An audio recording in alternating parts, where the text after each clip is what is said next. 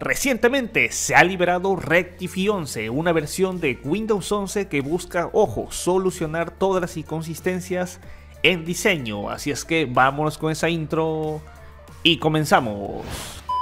Pero antes de iniciar, este video ha traído a ustedes gracias a las excelentes y magníficas licencias de CDK Offer. Puedes obtener Windows 11, puedes obtener Windows 10, puedes obtener también licencias de Office 2021 y obviamente es febrero, el día de San Valentín y hay códigos de descuento exclusivo, así es que consúltalos abajo ahí en la descripción, puedes obtenerlo fácilmente aplicando el código. Después te vas al User Center y dicho esto, ahí puedes visualizar lo que es tu licencia. Así es que ya lo sabes, CDK Offer en las mejores fechas. Así es que todos los enlaces van a estar abajo ahí en la descripción. Consulta cualquier tipo de licencia de la mano de CDK Offer. Dicho esto, vamos a comenzar. Y muy buenas a todos como siempre, bienvenidos a un sensacional video que quiero ya dejar muy en claro que esta liberación se dio prácticamente la semana pasada, no pude abordarlo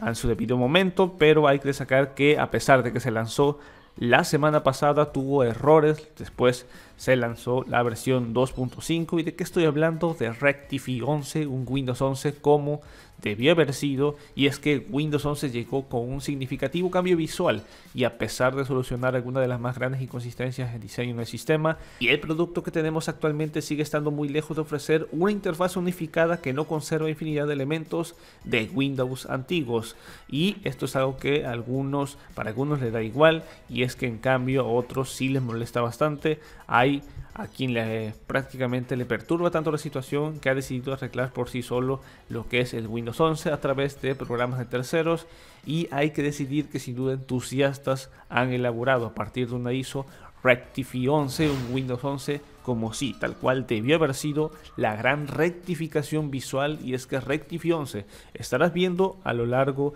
de este video mientras estoy explicando un poco más en torno a lo que es este sistema. Sin duda pues ahí lo que es prácticamente la instalación totalmente similar a la de Windows 11 aunque obviamente nos vamos a enfocar en los cambios visuales. Y Rectify 11 es una versión llamémoslo así una versión de Windows 11 no quiero destacar otra palabra porque siempre que menciono otra en cuanto a versiones de Windows 11 YouTube censura los videos. Es creada por alguien que prácticamente no tiene que ver nada con Microsoft, no es un tema o un skin como tal, ni algo que pueda explicarse sobre su instalación actual en Windows 11. Es una ISO completa del sistema operativo que está adaptada al máximo posible para que la interfaz luzca más consciente, añadiendo el nuevo estilo Mica, y Fludecing en todas partes que faltan actualmente en Windows 11 en la versión oficial, actualizando más iconos e incluso también adaptándolas a las apps clásicas en Windows 32 que Microsoft todavía no ha actualizado al estilo de Windows 11. Incluso, de hecho, las ventanas de instalación de Windows 11 han sido actualizadas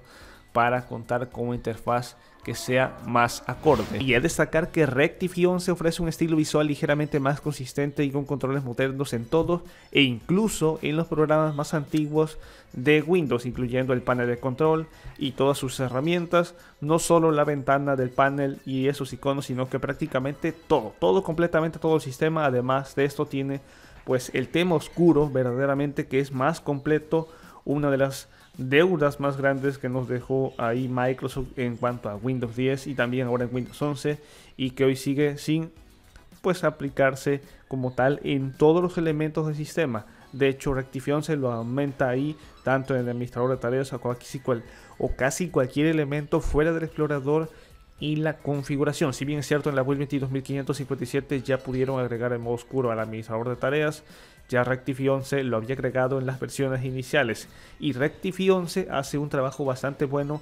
básicamente mejorar el diseño de casi todo el sistema con la intención de pulir todos los detalles que Microsoft no lo ha hecho. Y bueno, por ejemplo, el menú contextual en el explorador de archivos es el antiguo y sin tener que hacer ese molesto clic en mostrar más opciones. Además de esto, el clic derecho en la barra de tareas muestra más opciones ahí directamente. Los iconos en la barra y el botón inicio se alinean a la izquierda por defecto y las opciones de personalización clásica han sido traídas de vuelta. También hay cosas como un reproductor de música alternativo en Prehab y también en el estado de que podríamos calificar hasta el momento el resto de este sistema operativo como totalmente eficiente y esto es justamente porque Rectifi 11 a simple vista luce muy bien el cómo funciona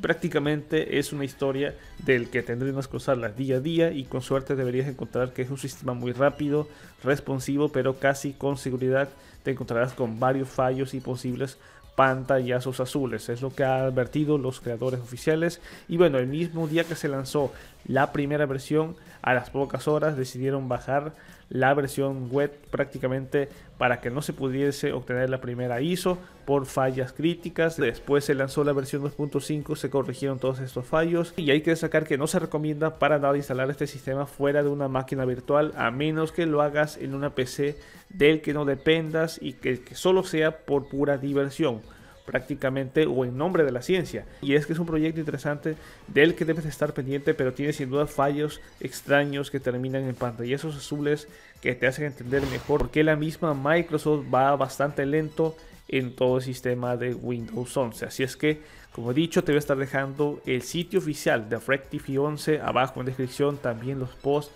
donde se dieron a conocer todo esto en FireCube en la cuenta oficial en Twitter y de más información extra que se me escape. Sin duda toda la inconsistencia, ahí todo lo que se puede rectificar de Windows 11 en este sistema operativo y obviamente todo en torno a mejorar tanto el modo oscuro consistente, errores en el aspecto del sistema y la configuración fluida. Así es que hasta aquí me despido, nos veremos hasta la próxima, Master Tutos fuera,